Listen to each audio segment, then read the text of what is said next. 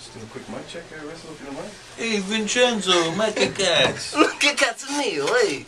All right, cool. Hey, this is Russell Peters, and if you're not listening to Cousin Vinny on the drive home on Virgin Radio at this moment, somebody going to get a hood real bad. I, I gotta ask, you were with Charlie Sheen recently. I know everybody's been talking about that. It's true. What, what happened there? He, he asked you? You called Yeah, him? he, uh, he, we have a mutual friend, and uh, he asked if I would come and help him do the show. Charlie's a really good dude. Like, Yeah. I asked him backstage. I was like, "Hey, is there anything you don't want me to ask you?" He goes, "No, ask me anything you want." And I go, "Anything?" Because I'm going to ask anything. And he was like, "Go for it." So I asked him whatever I felt like asking him. Cool. I asked him who the first celebrity he slept with was.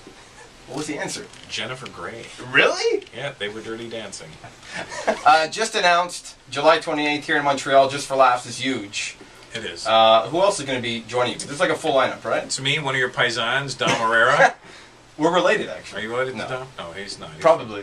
from Philadelphia. I don't know. and uh, Sebastian Maniscalco, another one of your paisans. Yeah. And then we got uh, Jeremy Hotz, who's incredible. Yeah. uh, Jimmy Carr, um, Nick Thune, and uh, quite possibly add more people. I don't know. Cool. The more they, the more they let me add, the more I will add. We're looking forward to that. Russell Peters, uh, catch him July 28th, Place des Arts. Thank you so much for uh, for stepping in. Let me tell you about you, Vinny. Thank you. Thank you very much, man. Hey, bro. I'll see you later. Cool. Thanks, Russell. Appreciate it, man. Thanks, buddy.